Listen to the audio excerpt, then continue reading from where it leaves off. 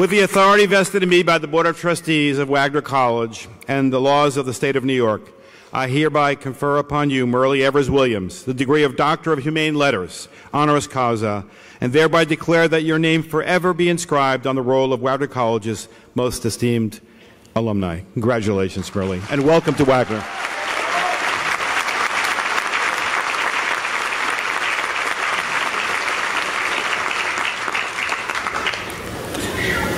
Thank you ever so much. You have probably never been addressed in this way. Dr. President of this wonderful college, I am deeply moved to be the recipient of this honorary degree. I'm moved for many reasons. It is just not another degree bestowed upon me or others, but it is significant that today you have this wonderful group of graduates that gave me inspiration to continue my work. Because as I stood along the walkway and I saw the graduates coming through, Many of them had signs on their headboards, and some of them said, It's time. Others said, It's happening. And I heard some cheers coming from others who walked by, and the smiles that were on the faces of, I believe, every graduate that passed by. And I felt a swelling in my heart. One was a pride, even though I don't know you personally, but of seeing a group of people, of young people, having accomplished something that you have accomplished. And I sensed that within this group of graduates, there will be those that we will hear and read about you in the future. But more than that, there was a feeling of joy. There was a feeling of promise. And I congratulate each and every one of you. But I also congratulate the parents, those who stood by you, who helped you, who guided you to reach this point where you are today. And for those who took out loans to help you reach this day. And of course, I know you are feeling full of pride, full of strength. Your spirit is high. And I suspect that your parents or those persons who are responsible for getting you to this point also are giving a sigh of relief. Don't be too quick about it. Students have a way of coming back home and reclaiming their rooms. And sometimes they bring others along with them. So it's not over yet.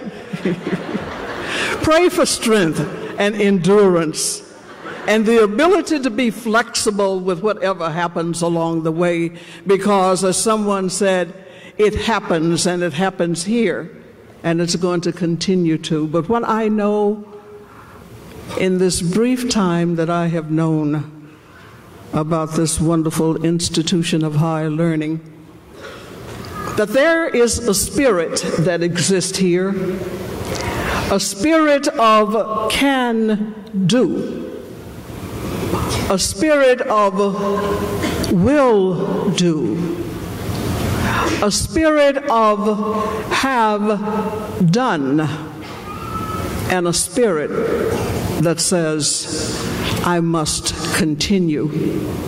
And I think that's embodied in this class and in this institution. So celebrate today, and perhaps I should say, pray for tomorrow, for we know not what cometh. But I believe in being an optimist. Regardless of how difficult things become, regardless of what curves life throws you, that you can always, if you will, find the good in almost anything. It took me some time to reach that observation and that point of acceptance, but it is true. I think of my father as I stand here before you, who questioned my abilities to do what he expected me to do and what I had done in the past. When I left high school and went to college, for the very first time, straight A student, knowing that I was going to take over the world, but take over the world in a segregated society. When I moved to California, resettled my family, and re entered an institution of higher learning, I was shocked I was shocked because I was told that none of my credits were good or would be accepted, and that I would have to start over again from the very beginning. My father said to me as time went on, I don't like your grades. Why aren't you Phi Beta Kappa? Dad, I have three children. I am working. I am taking a full class load at school. And I have wounds that are trying to heal. I am not Phi Beta Kappa material. He finally accepted that, and things went on as they should have. But out of all of that, the rejection of the grades that I had earned before said to me, There's so much more to learn, and another way to learn those things if you tried in another way. If you are challenged to do better than you think you ever could do.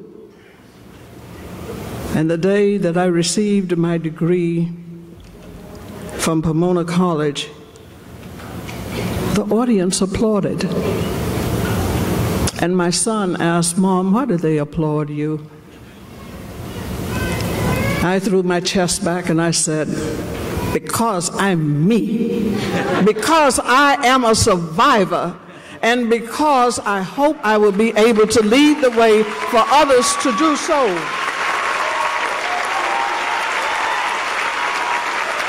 My message to you is that you never know what will happen when adversity faces you, or you face adversity, but you believe in yourself, believe in your goals, realize that there will be setbacks, but let those setbacks only serve as fuel to move you forward.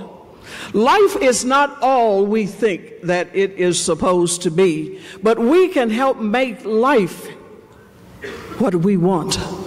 And we can help, and you have a responsibility, graduates, of making life better for others as well. And I am sure that that is something that you have learned not only in your homes, in your communities, but at this wonderful institution of higher learning. Because I stand before you today looking back with hope and determination of some 50 years ago when I thought perhaps my life was over and the life of so many people who worked in a movement to bring America to the level of what it should be, that those things were actually going to happen. With your generation, you have been saved from the bitterness and the tragedy of hatred and racism. You have inherited a much better country because of sacrifices that other people paid. but you have a responsibility to keep America going, moving in a positive way, because if we do not, we are missing a great part of the reason that we are here and the reason that we are Americans. You have been given the tools for success. My question to you is how will you use those tools? And there may be some in this audience, not only the graduates, who say, It's not my business. I'm fine, I'm doing okay. Why don't those people who continue to raise issues fade away? We don't need to hear, but be aware. Whether we accept or whether we reject what we are supposed to do as individuals, as citizens of this country, of citizens of the world, whatever you decide to do, there will be an impact positive, negative, and somewhere in between. 50 years have passed very quickly, and I must tell you that I was once filled with anger. I will even say I was filled with hatred. But negativity never solved any problem. But to believe in something, to find ways around and in and out, to achieve goals that will be better for yourselves and your families, your neighbors, your state, your country, your institutions of higher learning. Go for it. Hatred is bitter, and it has taken a long time to move from that point to this. But I'm so thankful and I'm so blessed that I had friends, that I had deep beliefs, that I had love, that I was surrounded by people who felt the same way that I did. And I'm so thankful to have had a grandmother who taught me that hate was not the way to go. That you embrace all of the good that you can find and continue to grow with it. You are challenged today to take part in a global economy, to find your place and make things better.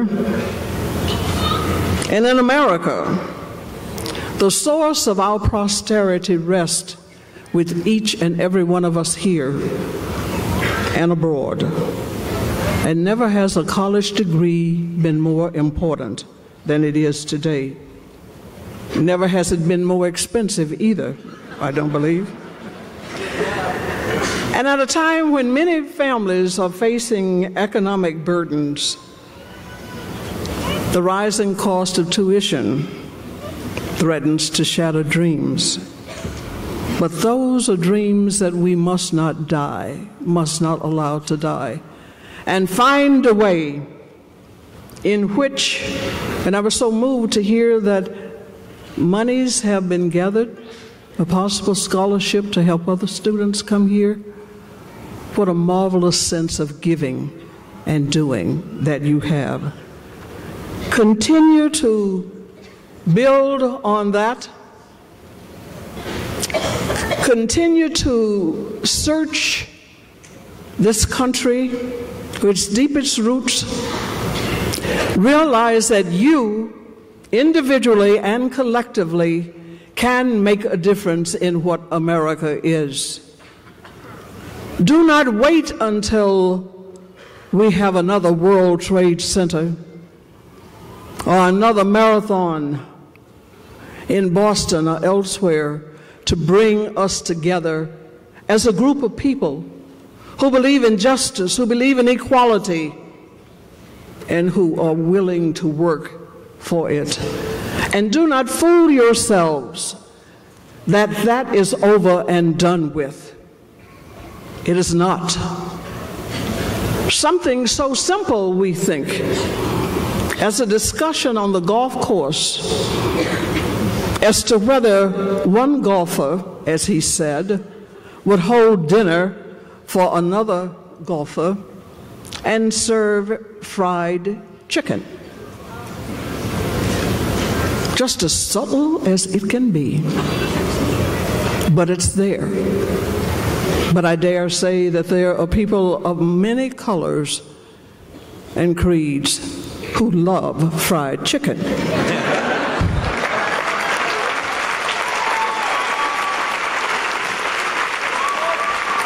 It may be that we prepare fried chicken in different ways, but we love fried chicken. I hope the golfer who made that comment will pay attention to that. But we are here today to celebrate you as you move forward. As you move forward into life, as you leave the hallowed grounds of this institution of higher learning, that the philanthropy in you will continue to reach out, not only to make this college better, but to find a way to bring more students in so that they can enjoy the benefits that you did. You're on the cusp of doing something absolutely wonderful and marvelous. And I think about a bird. I like to share this story. There are all kinds of different birds which we know. But then there is that magnificent eagle. And you are ready to spread your wings. And I think about that eagle because it is the only bird that loves the storm. It has been born with the ability to lock its wings and rise above the storm, while other birds seek shelter. The eagle is soaring. The eagle is challenging. The eagle flies above the storm. And my words to you be eagles, fly above the storm. For you owe it to those who love and who have worked with you. You owe it to those in the future that you do not know, but who will rely on you for guidance. And you owe it to yourselves. So, Wagner College has helped to strengthen the wings of eagles. Go and fly.